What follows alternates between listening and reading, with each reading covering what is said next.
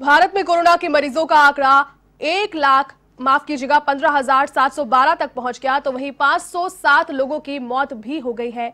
जबकि 2230 लोग कोरोना के मरीज़ जो थे वो स्वस्थ हो गए हैं। देश में जानलेवा कोरोना वायरस से महाराष्ट्र राज्य सबसे ज़्यादा प्रभावित है, जहाँ कोरोना मरीजों का आंकड़ा 3600 के पार जा पहुँचा।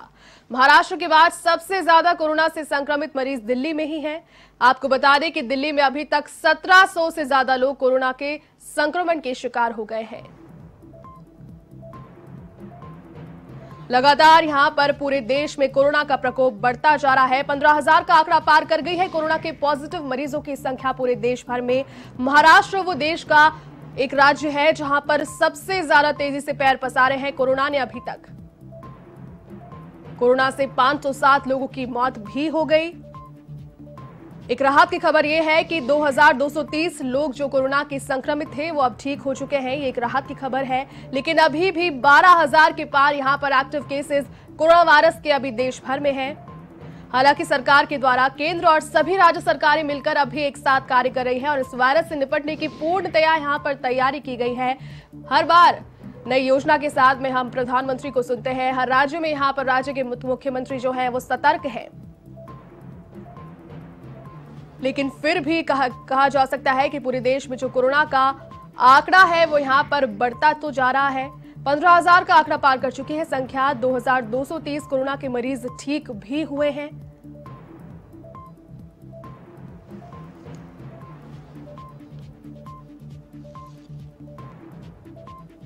अभी भी जो एक्टिव एक्टिव केसेस हैं पूरे देश भर में, वो 12000 के पार उनकी संख्या है। 507 लोगों की मौत हो गई है। इस वायरस के चलते पूरे देश भर से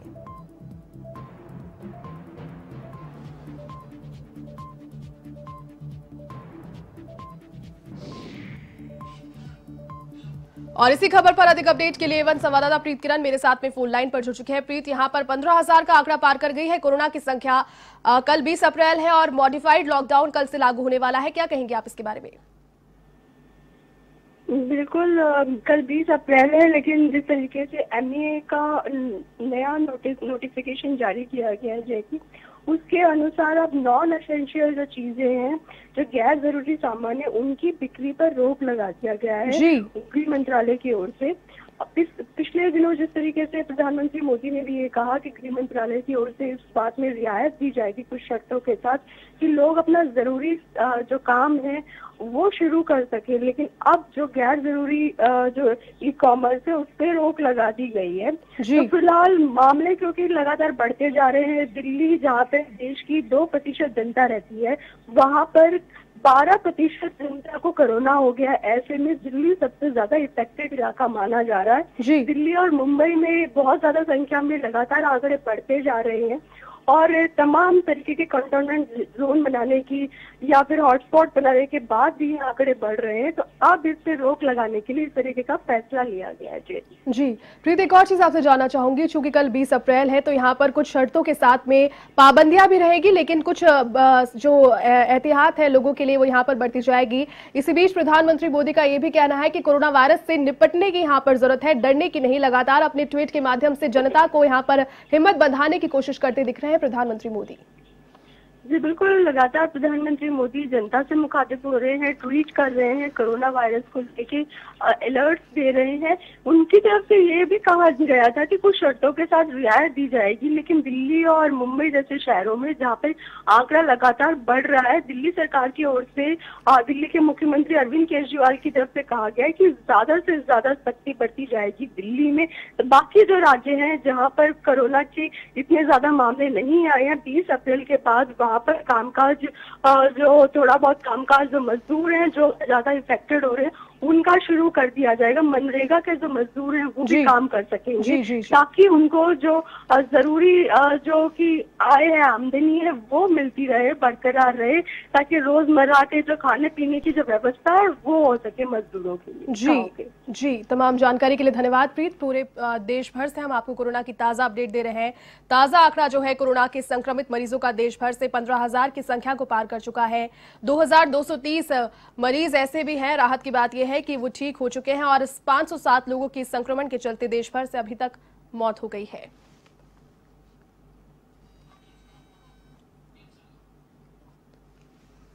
लगातार यहाँ पर कोरोना के जो संक्रमित मरीज़ हैं, उनकी संख्या में बढ़ोतरी यहाँ पर देखने को तो मिल रही है, लेकिन सरकारों, जिस प्रकार से सरकार, तमाम सरकारें प्रतिबद्ध है अपने अपने प्रदेश को और पूरे देश को इस संकट की घड़ी से उभारने के लिए इस संकट की घड़ी से उबारने के लिए जनता भी प्रतिबद्ध है। अपने अपने घरों में लॉकडाउन है। 40 दिनों का ये लॉकडाउन अभी तक बढ़ा दिया गया है। आपको बता दें कि पहले 21 दिन उसके बाद में अन्य 19 दिनों के लिए प्रधानमंत्री ने ये घोषणा की। आगामी तीन मई तक ये लॉकडाउन जारी रहने वाला है। और इसी खबर पर अधिक चर्चा के लिए एवन टीवी के चैनल हेड अनिल लोढ़ा जी मेरे साथ में फ़ोन लाइन पर जुड़ चुके हैं। अनिल जी पंद्रह हज़ार का आंकड़ा पार कर चुके हैं। देश भर से संख्या। राहत की बात यह है कि 2230 मरीज़ ठीक भी हो गए लेकिन अभी भी ऐसे कौन सी एहतियातें हैं जो हमें बरतने की ज़रूरत है इस बीमारी से और इस संकट से उबरने के लिए? ये जो लॉकडाउन में मॉडिफाइड लॉकडाउन कल से लागू होगा। जी। ये दूधारी तलवार की तरह है। एक तरफ़ हम रियायतें दे रहे हैं थोड़ा बहुत खोल रहे हैं क्योंकि हम इस दबाव में हैं कि हमारे रोज कमाकर खाने वाले लोग बेरोजगारी में ज़्यादा दिन नहीं रह सकते। जी। समाज कितना पैसा बांट रहा है कितना अनाज बांट रहा है कितना खाने का सामान बांट रहा है पर कब तक बांटेगा और कब तक पहुँच रहा है नहीं पहुँच रहा नहीं पता। और सरकार को टैक्स मिलना लगभग बंद हो गया ज़ीरो हो गया तो सरकार की हालत भी खराब और जनता की हालत भी खराब। दबाव में भी है और हम कोरोना को रोकने के दबाव में भी है। तो थोड़ा सा बीच का रास्ता निकालने की कोशिश की गई है। समझ लें कि सौ में से तीस परसेंट कल खुल जाएगा बाज़ार। तक आने जाने लग जाएँगे सामान आने जाने लग जाएगा। होम डिलीवरी की छूट मिल रही है।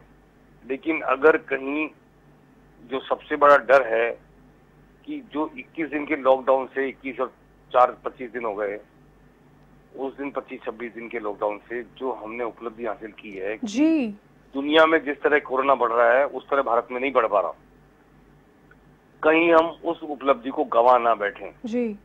ये बहुत बड़ा यक्ष प्रश्न है इस देश के शासकों के सामने प्रदेश के शासकों के सामने डॉक्टरों के सामने पुलिस के सामने मीडिया के सामने सबसे बड़ा ये प्रश्न है कि हम जिस राहत की सांस महसूस कर रहे हैं मोडिफाइड होने से लॉकडाउन के जी। कहीं वो राहत हमारी किसी गफलत की वजह से एक नुकसानदेह ना हो जाए बहुत बड़ी इस बात की हमको सबको चिंता करनी पड़ेगी इसलिए जो लॉकडाउन में राहत मिल रही है उसका बिल्कुल जुडिशियस न्यायोचित उपयोग। जी। न्यायपूर्ण उपयोग करना चाहिए। हमको अनुशासन में रहकर उसका उपयोग करना चाहिए। ये सबसे बड़ी बात मैं अपने दर्शकों को कहना चाहता हूँ। बिल्कुल। दूसरी बात जो थी ये सब जैती सबसे बड़ी बात जो दुनिया में आज घटना हुई है कि कल रात को अमेरिकी राष्ट्रपति ट्रंप ने चीन को धमका दिया है। जी। और उन्होंने चीन को कह दिया है कि अगर कोरोना वायरस के बारे में आपने जानकारी छुपाई और दुनिया को रखा ये साबित हो गया। जी। और इसकी पूरी दुनिया में फैलने के आप जिम्मेदार निकले तो आपको मज़ा चखाया जाएगा। बिल्कुल। इसका परिणाम भुगतना पड़ेगा। ये बहुत बड़ी धमकी है ट्रंप की। हो सकता है ट्रंप अमेरिका में जिस तरह लोग मर गए सैंतीस हज़ार उससे बदहवास हो रहे हों। सात लाख लोग वहाँ पे संक्रमित हैं और अमेरिका की इकोनॉमी डूब रही है वापस। तो इसलिए उनको ये उनका फ्रस्ट्रेशन भी हो सकता है लेकिन वो ऐसे राष्ट्रपति हैं जिनकी पॉलिटिकल विजडम के ऊपर उनकी आर्थिक नीतियाँ और आर्थिक सोच हावी है। जी। और वो इस नुकसान को डॉलर के डूबने को बर्दाश्त नहीं कर पाएँगे। तो बहुत सारे लोगों को इस बात की भी चिंता है कि कोरोना वायरस के अलावा दूसरा एक नया वायरस पैदा ना हो जाए राजनीति में दुनिया जी, की जी. और सामरिक रूप से कोई बड़ी घटना ना हो जाए इसकी बड़ी चिंता हो गई है ट्रंप के इस बयान के बाद। जी। तीसरी बात ये जो सबके ध्यान में आ चुकी है चीन ने अपने यहाँ पे मरने वालों की संख्या अब काफ़ी बढ़ा दी है जो कि उसने छुपा के रखी हुई थी। जी। आज भी दुनिया में कोई इस बात को मानने तैयार नहीं चीन चीन अभी भी वास्तविक संख्या बता रहा है। लोग मान के चल रहे हैं वास्तविक संख्या इससे कहीं ज़्यादा है जितनी संख्या चीन कबूल कर रहा है। तो इसलिए कहीं ना कहीं चीन की नियत पर भी शक हो रहा है लोगों को और चीन ने जो करके दिया है उसमें भी शक हो रहा है। जी। और जिस तरह के सब स्टैंडर्ड किट आ रहे हैं भारत में भी सब स्टैंडर्ड किट आए वापस लौटाने पड़ रहे हैं। इससे पूरी दुनिया में चीन विलेन बन गया है और चीन के खिलाफ पूरी दुनिया हो सकता है एकजुट हो जाए पाकिस्तान को छोड़कर। जी। तो इसलिए एक नया नया पूरी दुनिया में समीकरण बन रहा है राजनीतिक रूप से इस कोरोना वायरस के आक्रमण के बाद इसके कहर ढाने के बाद में जिसका नतीजा आज तो नज़र नहीं आ रहेगा लेकिन फिर हम कोरोना से निपट लेंगे।